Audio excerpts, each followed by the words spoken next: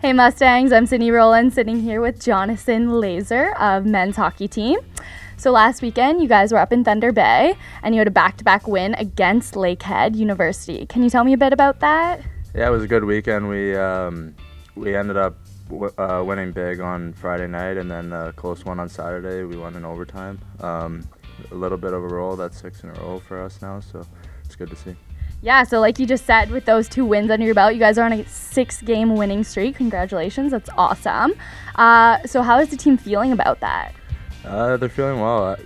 Uh, it's a good atmosphere in the room right now. I think uh, winning obviously makes makes it more fun to come to the rink every day. So um, hopefully we can keep it going. Yeah, for sure. Uh, this weekend, you guys are playing at home and you're playing against Laurier and Brock. So, what are those teams like playing? Uh, obviously, Laurier is doing well this year. I think uh, that'll be a, a tight game. Uh, I I actually didn't play the first time against them, so oh, um, I think it'll it'll be a good game. And Brock obviously is a team that's always hard to play against, and um, I, I, think that'll be another close game against them. Well, good luck this weekend, and thank you for being here, Jonathan. Thank you.